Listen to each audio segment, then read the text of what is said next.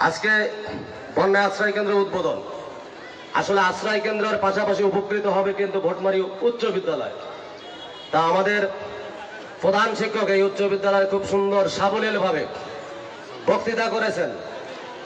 আসবাবপত্রের যে ব্যবস্থা, ব্রেঞ্চের ব্যবস্থার কথা বলেছেন। আমার মনে হয় আমার মাননীয় মন্ত্রী মহোদয় সেই ব্যবস্থাটুকু করবেন। সেই সাথে আমি একটি মেসেজ দিতে চাই। বাংলাদেশ আওয়ামী লীগ রাষ্ট্র ক্ষমতায় আসার পরে ইতিপূর্বে যত সরকার ছিল, সকল সরকারকে ছাড়িয়ে শিক্ষা বান্ধব সরকারে পরিণত হয়েছে। প্রিয় শিক্ষার্থীরা জানে, বছরের প্রথমে আপনাদের হাতে আমাদের প্রিয় নেত্রী, গণপ্রজাতন্ত্রী বাংলাদেশ সরকারের মাননীয় প্রধানমন্ত্রী বঙ্গবন্ধু কন্যা বছরের প্রথমেই শিক্ষার্থীদের হাতে বই তুলে দেন। শুধু বই তুলে দেন নাই ছাব্বিশ হাজার প্রাথমিক বিদ্যালয়কে একযোগে জাতীয়করণের মাধ্যমে বাংলাদেশে নয় সারা বিশ্বে উনি রেকর্ড সৃষ্টি করেছেন।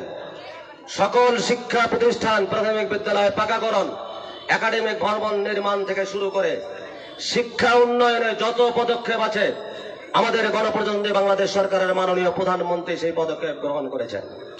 শুধু শিক্ষার ক্ষেত্রে নয়, স্বাস্থ্য চিকিৎসা থেকে শুরু করে প্রত্যেকটি ক্ষেত্রে উন্নয়নের রোল মডেলে পরিণত করে। দেশ যখন এগিয়ে যায়, তখনই ষড়যন্ত্র শুরু হয় ভাইয়ারা আমার।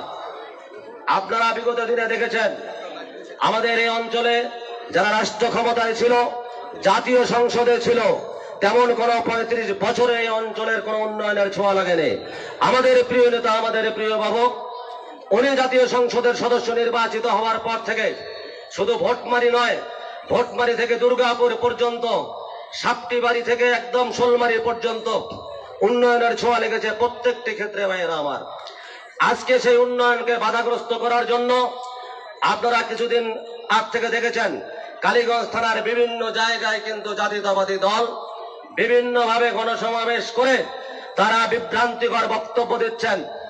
জাতীয়তাবাদী দলের এখানকার স্থানীয় নেতৃবৃন্দ, তারা একটি কথা বলেন ওনাদের সাবেক উপমন্ত্রী, আমি বলি কুখ্যাত উপমন্ত্রী, সন্ত্রাসীদের গডফাদার, সে নাকি অঞ্চলের উন্নয়নের কাণ্ডারি ছিল। উনি নাকি সারা বাংলাদেশের জাতীয় নেতা হয়েছেন। জাতীয় নেতা আমাদের এ অঞ্চল শুধু নয়, সারা বিশ্বের রোল মডেল সারা বিশ্বের তাক লাগিয়ে দিয়ে বাংলাদেশে যে অবিস্মরণীয় উন্নয়ন করেছেন, গণপ্রজাতন্ত্রী বাংলাদেশ সরকারের মাননীয় প্রধানমন্ত্রী। তার নামে কটূক্তি করেছেন।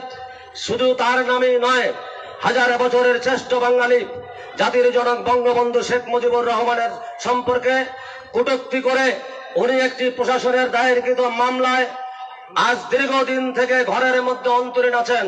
মহিলা দিয়ে পাহারা বসিয়েছেন। মহিলা দিয়ে পাহারা বসিয়ে ওনারা বলেন, বাংলাদেশের কোন জেলখানা নাকি নাই, ওই আসাদুল হাবিব দুলুকে আটকে রাখতে পারে। আমি আজকের জনসভা থেকে দায়িত্বহীন কণ্ঠে ঘোষণা দিতে চাই।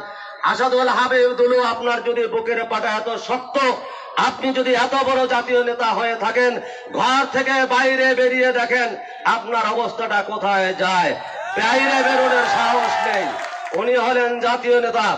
আরে অনেক অশ্রাব্য ভাষায় গালিগালাজ করা হয়। ওনারা হুমকি ধামকি করছে, লাঠির ভয় দেখান। আমি আজকের জনসভায় আপনাদের উদাত্ত আহ্বান জানাতে চাই। আসলে ওনারা সব সময় বলে, গণপ্রজাতন্ত্রী বাংলাদেশ সরকারের মাননীয় প্রধানমন্ত্রী সম্পর্কে ভোট চোর আখ্যায়িত দেন। আমি আপনাদেরকে জানাতে চাচ্ছি, আপনারা বিগত দিনে দেখেছেন, ওই হানা ভোটের প্রবর্তন করে বাংলাদেশের সংবিধানকে কলঙ্কিত করে প্রথম ওই জেনারেল জিয়াউর রহমান গণতন্ত্রের কবর রচনা করেছিল বাংলার মাটিতে, ভাইয়েরা আমার। তাদের মুখে গণতন্ত্রের কথা। দুর্নীতির কথা যদি বলি দুর্নীতির বরপুত্র ওই তারেক জিয়া চুরির মামলায় দণ্ডপ্রাপ্ত হয়ে বিদেশে পলাতক রয়েছে। তার অনেক নেতা কর্মী আছে। পল্টনে বসে ওই ফখরুল রিজবিরা প্রত্যেকটি কিন্তু চুরের মামলায় দণ্ডপ্রাপ্ত। চোরদের আজকে বড় বড় কথা। তারা আমাদেরকে বলে, ভর চোর ভাইয়েরা আমার। আপনাদেরকে আমি উদাত্ত আহ্বান জানাব। আগামীতে নির্বাচন আসছে, কিছুদিনের মধ্যে নির্বাচন হবে।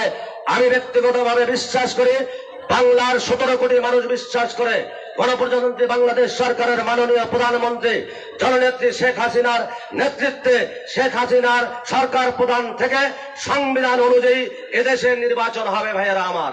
শঙ্কার কোনো কারণ নেই, ভয়েরও কোনো কারণ নাই। ওনারা যেটা চিন্তা করেছেন, ওনারা আলটিমেটাম দিয়েছিল। ইতিপূর্বে আপনারা দেখেছেন, দশ তারিখের আলটিমেটাম দিয়েছিল। দশ তারিখে নাকি তারিখ দিয়া দেশে এসে রাষ্ট্র ক্ষমতায় আসীন হবেন। ওনার আবার আলটিমেটাম দিয়েছিল বিশ তারিখে। এবারে গতকালকে ওনা ওই ফখরুল সাহেব ওই পল্টনে বসে বক্তৃতা দিয়েছেন। আঠাশ তারিখের পরে নাকি ওনারা মাঠে নামবেন। আমি ওই ফখরুল সাহেবের উদ্দেশ্যে আজকের জনসভা থেকে বলতে চাই, ওনারা কতবার যে নৈরাজ্য সৃষ্টি করেছিল, এদেশের সাধারণ মানুষকে জিম্মি করে পুলিশকে লাঠিপেটা করেছিল পুলিশকে পিটিয়ে হত্যা করেছিল, সাধারণ মানুষকে পুড়িয়ে হত্যা করেছিল। শুধু তাই নয়, ট্রেন পুড়িয়ে, বাস পুড়িয়ে এদেশের সম্পদ বিনষ্ট করে এদেশের উন্নয়ন অগ্রযাত্রা যেভাবে ব্যাহত করতে চেয়েছিল, আমাদের প্রিয় নেতা ওবায়দুল কাদের সাহেব কালকে ঘোষণা দিয়েছেন শান্তি সমাবেশ থেকে। এবারে যদি নৈরাজ্য সৃষ্টি করার চেষ্টা করা হয়, আওয়ামী লীগের নেতা কর্মীরা ঘরে বসে আঙ্গুল চুষপেরা কঠোর দাঁত ভাঙ্গার জবাব দিয়ে এদেশের উন্নয়ন অগ্রযাত্রা অব্যাহত রাখবে ভাইয়েরা আমার। কথা বাড়াবো না, শুধু বলতে চাই, আমাদের প্রিয় নেতা আজকের সবার প্রধান অতিথি, আমাদের এই অঞ্চলের উন্নয়নের সারথি, উনি যেভাবে দিন রাত নিরলস পরিশ্রম করে কাজ করে যাচ্ছেন এই অঞ্চলের উন্নয়নের জন্য আগামী নির্বাচনে তাকে ব্যাপক ব্যালট বিপ্লবের মাধ্যমে নৌকার নিরঙ্কুশ বিজয় করে এ অঞ্চলের উন্নয়ন অগ্রগতি অব্যাহত রাখব। পাশাপাশি গণপ্রজাতন্ত্রী বাংলাদেশ সরকারের মাননীয় প্রধানমন্ত্রী শেখ হাসিনার হাতকে শক্তিশালী করে বাংলাদেশ যে উচ্চতার শিহরে উড়ে নিয়ে গিয়েছেন, সারা বিশ্বের রোল মডেলে পরিণত করেছেন, সেটি অব্যাহত রাখব ভাইয়েরা আমার। কথা বাড়াবো না শুধু শেষবারের মতো, ভোটবাড়ির মানুষদের আমি উদাত্ত আহ্বান জানাতে চাই।